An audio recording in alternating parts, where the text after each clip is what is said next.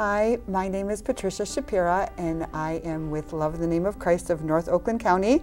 This is our board chair, um, Denise Zook Deshane, or I don't know if I got that backwards. Don't worry. Um, and what um, I'm with an organization that's been in around in the community since 2007. We've been around nationally as an affiliate um, since I think it's been around 45 years. There are approximately 110 affiliates of Love Inc. across the county, and our mission is to mobilize churches to transform lives and communities in the name of Christ. And what that looks like at our Oxford location um, on the campus of Lake Point Community Church is we have an office, we call it a connection center, where when folks call us and they have a need, um, have it be for um, rent, utilities, food, they come in and we talk to them for about an hour to figure out exactly how they got into the position that they are and what we can do to help them get out of it. Um, as I said, we've been around since 2007 and we're really happy to be able to do our intakes in person.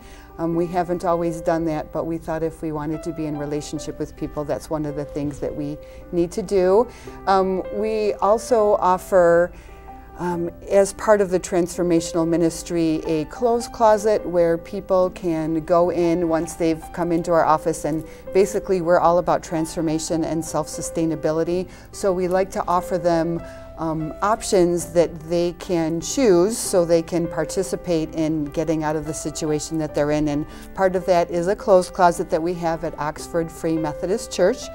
We did have a Bed Blessings and Beyond ministry that had household items, but um, we're looking for another building about a thousand square feet because we're some plumbing issues in the current building.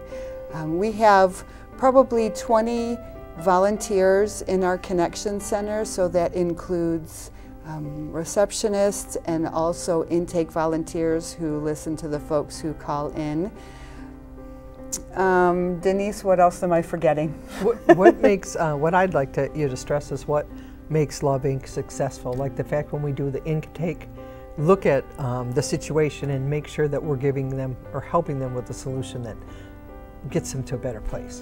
Yeah, so we're not an organization that just gives a handout because we're not interested in that. We're, as I said, our mission is to help transform lives, and that's just to show folks, you know, what their God-given talents are to, to find out how they got in that situation and what we can do to help them help themselves. If um, you would like to help out or learn more about what, what we do, um, our phone number is 248-693-4357 or you can visit us on our website at loveincofnoc.org.